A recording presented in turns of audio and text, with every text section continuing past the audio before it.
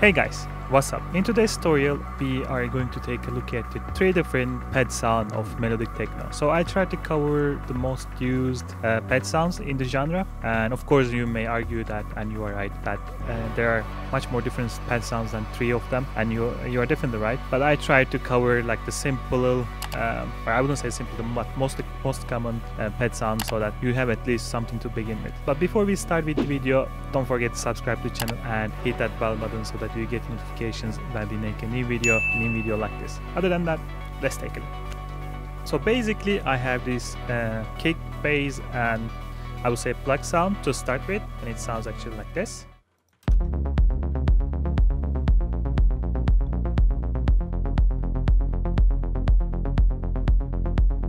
I would say quite melodic techno sounding uh, loop, but there are different things that are missing, I would say. And we begin with kind of a background pad sound, and this will be almost, this will be present almost all the melodic techno tracks, I would say. There's always this kind of background sound that makes the track warmer and much more filled. So what we are going to do, basically, put a serum like this and put it into the initial preset. What I'm going to do is more or less play it on the root note or root, I will say, um, the chord, and then just stay, make it stay there and fill the space. To do that, I'm just going to put a kind of a simple filter and I'm going to drag it down here. And this one is actually in the F minor. So let's take this off and let me turn off my vid so take off myself so that you can actually see, see everything better. So it is the F if you play. Let me, sorry.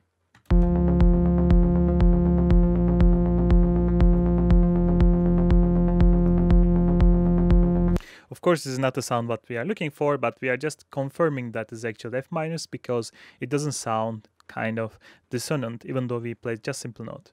So what we are going to do, build the F minor on top of this, if you don't know the the chord progression F minor basically, or any minor chord is like the root note and the third and the fifth. So if you count one note, one full note and half note and two full note. And if you don't know how to do this, I would say you can basically try to implement this. So I'm going to move this like this. Oops. Let's put it here. Okay, like this. And let's do it this way. One full note one half note one full note one full note another full note and another half note. Sorry it should be this way. And let's put it here. So to build again the minor chord uh, the third and the fifth. One two three four five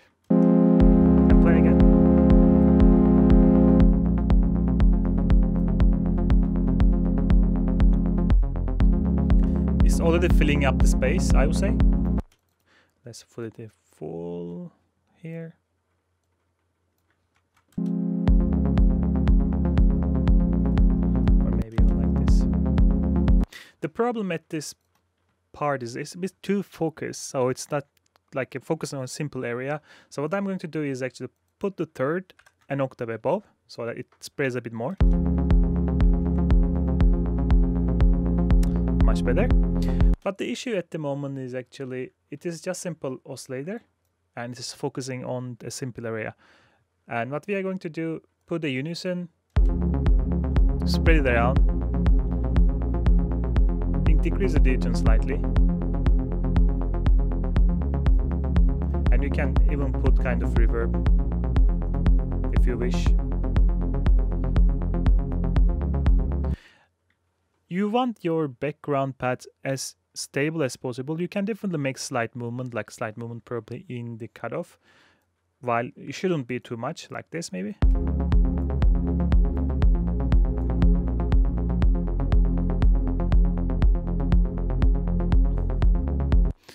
and you can try a bit movement on the detune and other things but i wouldn't suggest because this is supposed to be like in the background and this is supposed to be as stable as possible. The other thing that you can do though, at the moment this is kind of a bit too low. But I would do, I would definitely put an EQ, EQ8 here.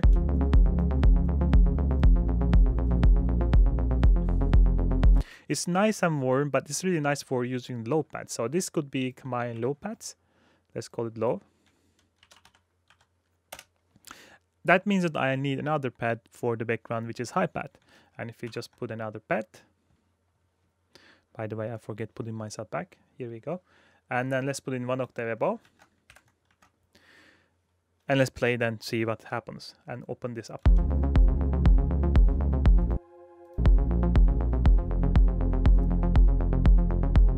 The issue at this point is that because the, we are utilizing exactly the same as I would say oscillator type, they're a bit too similar to each other, so there's not enough contrast in low pad and high pad. So I would suggest use another, using another oscillator at least to make the sound a bit slight, a bit different than the low pad. So what I'm going to do at this point is just take this one, put another shape, and try to find up something that that fits nicely.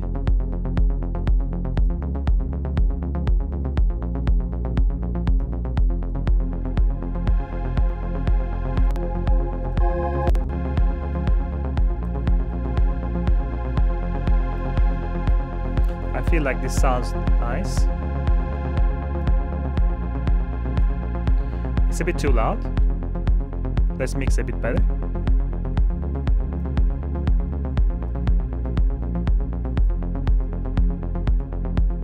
Again, you don't want your pad sounds or hi pad to go too much above in this area because this is where your hi-hats and all of the type of percussions sits. So you don't want to get there too busy neither. So I often suggest like keep it here.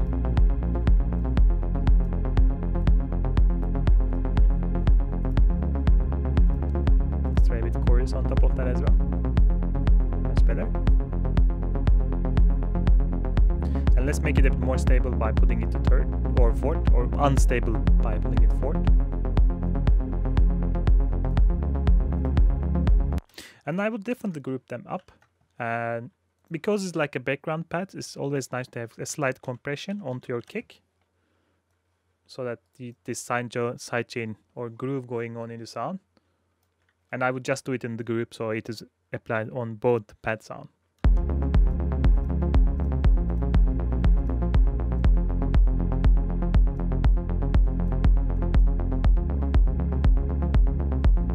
I feel like the high is a bit too high. Let's drop it a bit more something like this.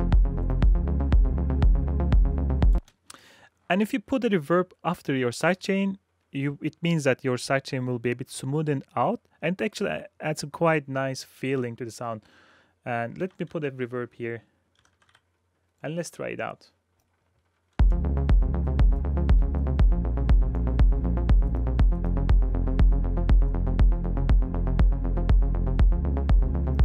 Can definitely hear it. Smoothens out and sounds much more pleasurable i would say. The one thing that you can also do like add any type of like a distortion or any type of processing here as well what i would often do put an eq just to make sure that i am not going too much high or too much lows and i would definitely put a glue to glue them bit even a bit more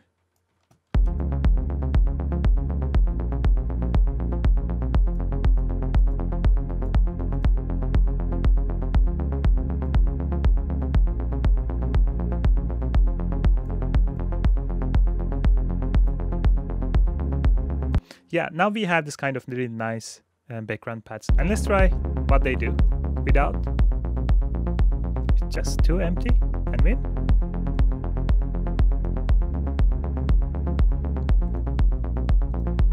It just gives this kind of really nice soundscape to the track. And you almost always have this type of sound in melodic techno tracks, I would say. The second type of pad sound is actually often called like a polysynth and or the lead pad. And this type of sound actually kind of follows the uh, chord progression of the track. And if I just move this one here and just put a serum uh, let's put it here.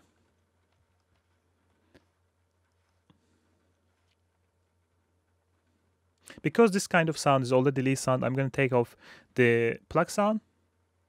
So we are trying to make this sound a bit like a more lead soundish. So let's play. Let's take off. Turn this off, turn this off, turn this off. Of course, put this in initial preset. At the moment, like I mentioned, this is a bit too simple, but we are going to build a chord progression on top of that. So basically, I'm putting a C minor, uh, this one a major, and then we are putting a A sharp minor,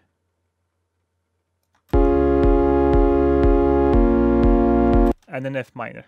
So if you cannot remember how we did it, like the put, do the way I've shown you, like put the F F minor uh, tune here so that you all you see all the possible notes that you can play with and start playing around a little bit afterwards.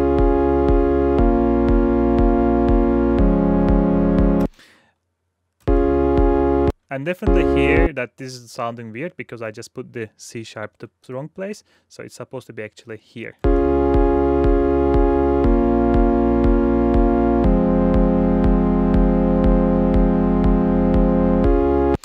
Oftentimes when you have this type of uh, pad sound, you also have kind of a contrast melody on top of that because it's just a regular chord progression. You would like to have a contrast on top of that. So what we can do actually try to come up with a melody that can play differently than original one. The original one is basically going down, so we can try to go up and down in this one.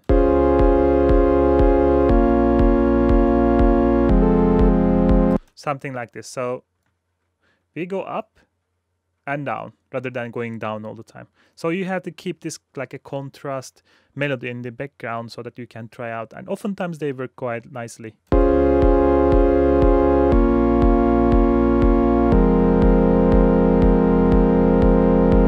And then what you can do, you can spread around the sounds a bit. Let's put the third note one octave below and see if that works.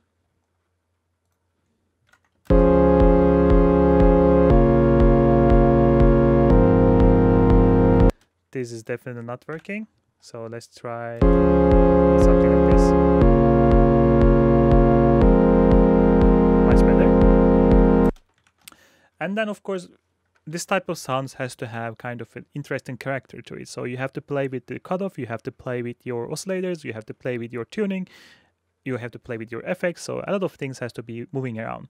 So easiest way to do, let's put this in the unison.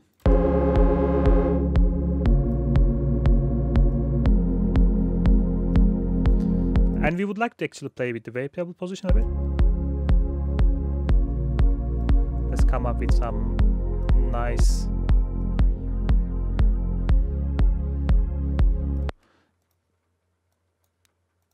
maybe like this one. Yeah, this is much better. Let's put a LFO on top of that and let's play around.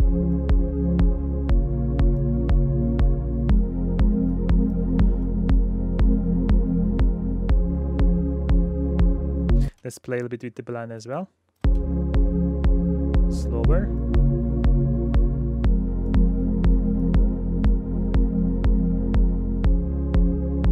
Let's put another contrast on top of that. So what I mean by that, turn oscillator B, put it on the nectar above, put it into unison.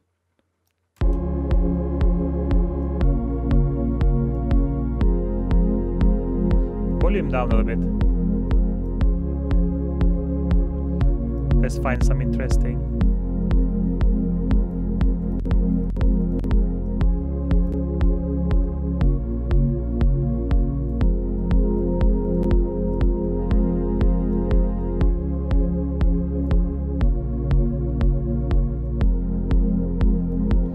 Let's mirror this up a little bit.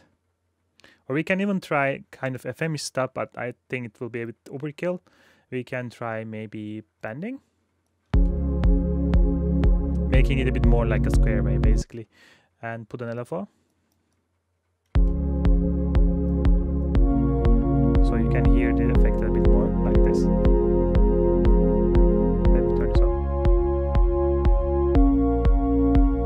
Can definitely do it faster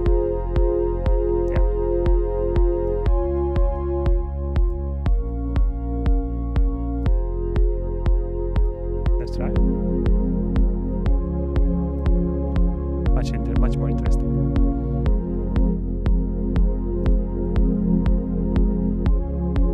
You can definitely play with the reso- uh, resonance and play with a bit cutoff so that the sound moves around a little bit more. Probably better idea to use another LFO in this case.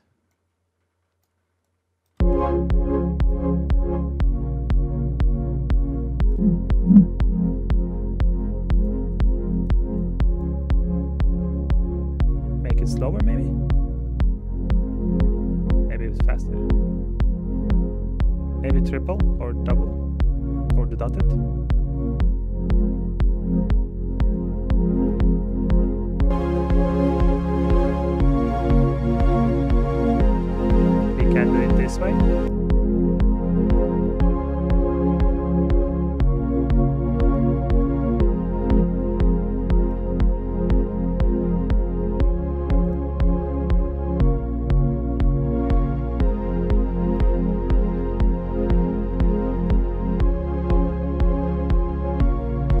This type of sounds also needs kind of uh, glue because movement is too much.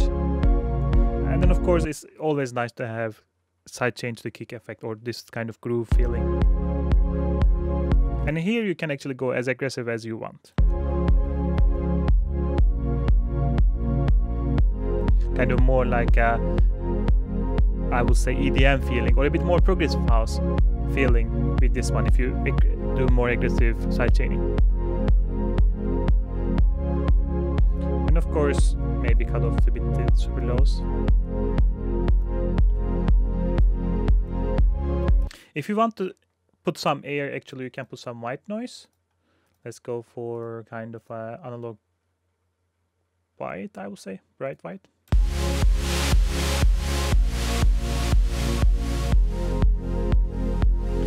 And actually you can use another LFO and side chain it, kind of, here.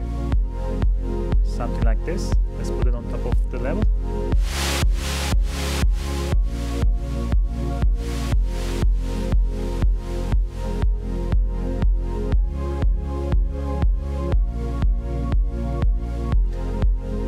And the one thing that I feel like this can use actually a little bit more reverb and even delay could be nice in this case actually honestly even chorus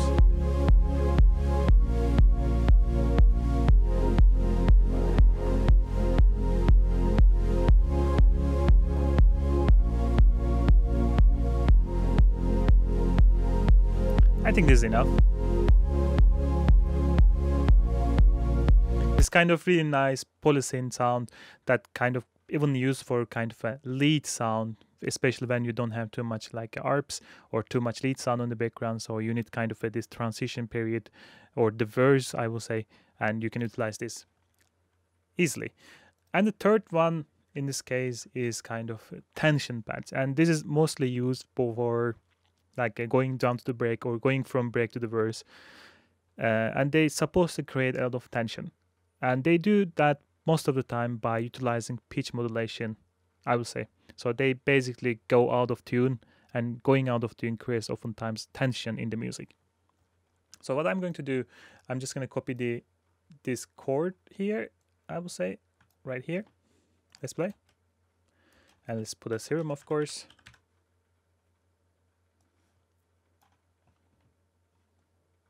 and put this into the initial preset. A filter. The you can either play with the uh, pitch here like this or if you are actually using unison which is most of the time what you would do because it just spreads around and it's much e nicer sounding. Then you will start with the really low detune like super stable here and then while you are going into the break you will increase this one so that it gets more and more unstable. And if you play.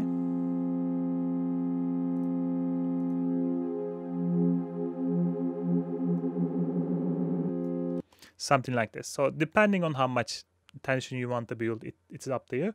And then oftentimes you play it with the cutoff as well. So the close in the beginning is more open in the later.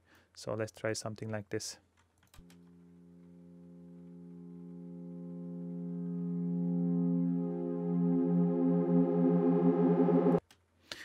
nice and easy. So what I'm going to do, like you see here, I have the kick is out and I have the pluck. I'm going to kick the pluck sound and then try to see if we can build kind of a break. What I would do in this case, let's put a crash, kind of a reverb, reverse crash. And this will just do. Let's zoom in, put it here, and volume it down a bit. And let's take a look.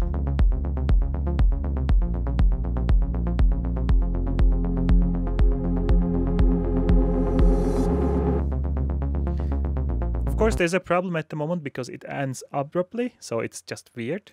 But we are going to do actually put a release so that it just we have it just kind of a nice tail on top of that. An EQ. We have EQ already, but anyway. So let's put it like this. And often you can also put a little bit air. Air means most of the time just white noise.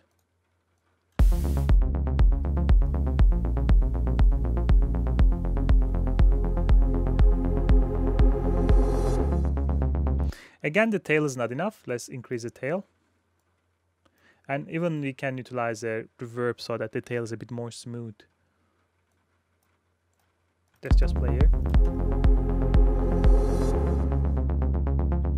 Again, longer. But I will definitely have it from the reverb more than the release. Maybe even more. Again, this kind of it like a tasting, so you can decide how much you want to have it and how long the tail will be.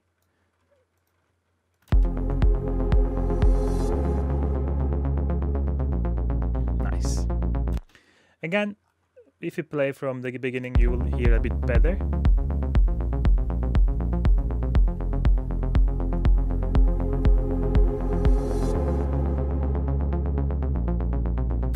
So without utilizing almost anything, just a reverse crash, we already give this kind of into the break feeling because the detuning the pad gives a lot of tension to the sound. Of course, you can utilize a bit more things over there and make it a bit smoother, but even this is good enough. And I think this brings us to end of this video. It became a long one. Uh, sorry for that. Uh, pads are always a bit more complicated than other type of sounds and it's harder to explain some things I will say. But other than that, I hope you enjoyed the video and I hope you learned something. And see you in the next time. Goodbye.